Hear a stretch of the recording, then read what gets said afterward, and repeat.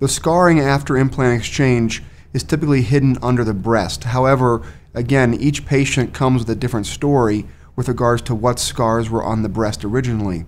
If they have an implant, often there's incisions either in the axilla or armpit, around the nipple or areolar complex, or under the breast already. In the cancer situation, a mastectomy scar can also be on the breast.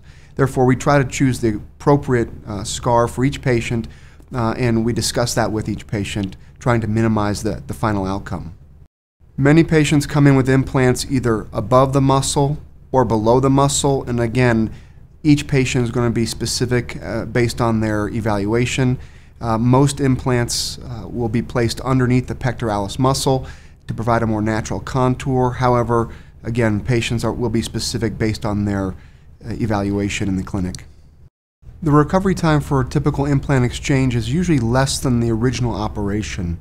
Uh, the tissues have already been slightly stretched, uh, and therefore a lot of the pain or discomfort from the recovery process uh, is actually already occurred and therefore the recovery time is about an, about a week uh, with a nice fitting bra for support.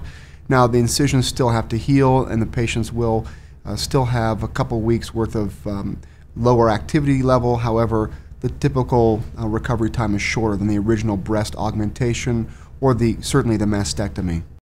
At Park Meadows Cosmetic Surgery, we have a state licensed, Joint commission credited surgical center.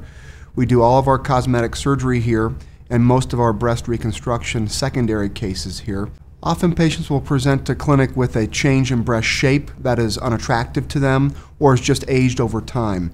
The goal is dependent on each patient at, during the evaluation. If they have an unpleasant change in shape, the goal is to make that shape look nicer, look more feminine, and, and therefore often the goal is indeed to change the shape of the breast. If the breast looks nice, uh, but the implant itself needs to be exchanged either for saline or silicone, then the goal is try to maintain that already attractive breast shape. So each patient is very specific, and then evaluation is important.